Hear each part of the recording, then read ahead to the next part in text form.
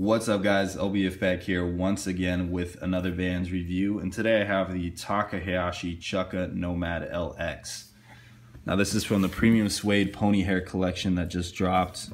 These are a size 13 and retail on these was 150. Comes in the latest version of this Taka drawer box here. This one is definitely a little bit different. Comes in like this recycled shell. Very clean look. Same details we typically see on these boxes. You got that feather graphic on the top there, which I actually just learned is, I guess, like a take on his family crest, which is pretty cool. Then, of course, you have this little diamond graphic throughout the trim and some other small details on the box. The face, the drawer itself, is in like this cream color, and then you got that white Vans Taka Hayashi graphic on the corner with a nice dark brass ring. Comes in your standard Taka dust bag here. Nothing has changed for a couple seasons here. This is like a off-white canvas bag with some black detailing. And then of course you have the black drawstring on that.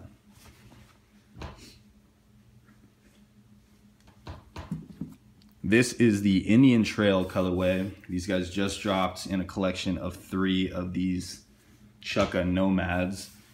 The other two colorways were a chestnut, which is like a nice brown color, and a black on black version as well.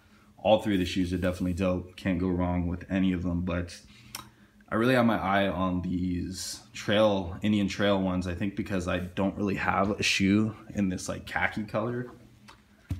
So I thought I would switch things up. I definitely still want both of the other Chukkas in this pack. First things first, this suede, pretty nice suede. Of course, I didn't have any doubts being that this was a Taka Hayashi shoe. Materials are always going to be on point.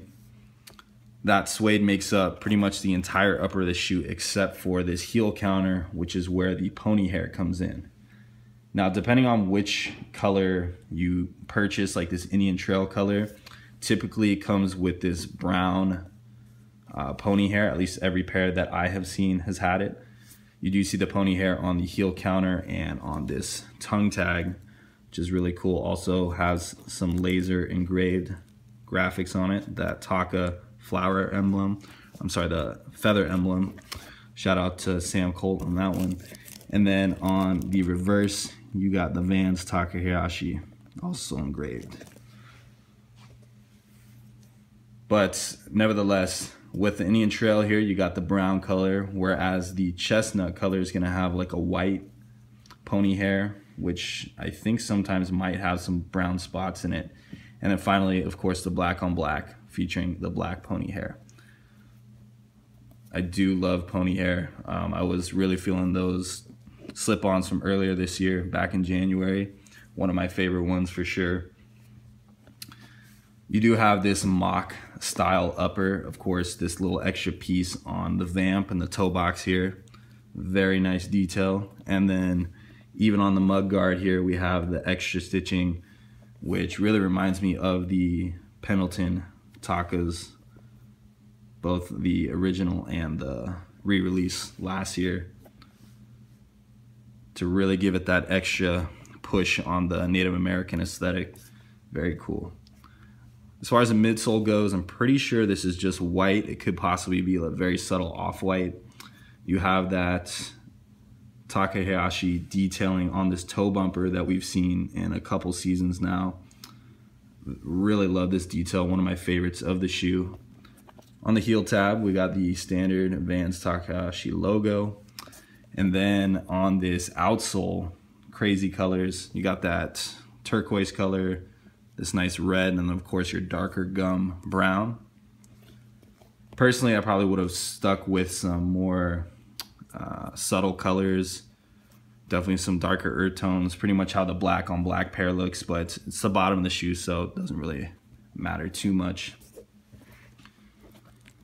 The laces that come with these are going to be this dark brown leather square lace.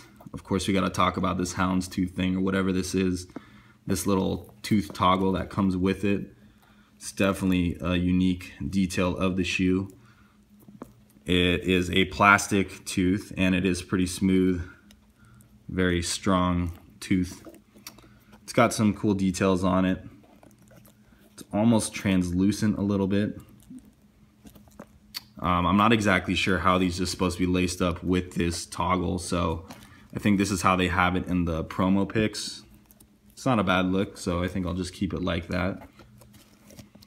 On the interior of this shoe here, we got this pigskin leather, of course, a very nice pigskin leather in like this peachy color, making up the entire interior all the way down to the toe box here. On the insole, we have some more pigskin leather, except this is gonna be like in a more of a tan color. More Taka detailing on that. And then the front portion after that widow's peak moves into some black canvas. Now these do fit true to size, or at least true to a Chukka size. I guess Chukkas tend to fit just a slightly big, lots of room in the toe box there. Um, but I would definitely stick with your true size on these. I mean, who doesn't like a little bit of extra room in it? Very clean shoe. Definitely one of the better shoes to release this year. I think these and the Raised by Wolves uh, old school zips that came out um, earlier this year are probably my two favorites so far. It is still November though. We do still have December um, coming around the corner. I know that there's going to be another Taka drop, so we'll see how that one comes out. Uh, the extra laces that do come with these, totally forgot to mention these, are to be this like hiker style lace, which kind of looks like a Chinese finger trap.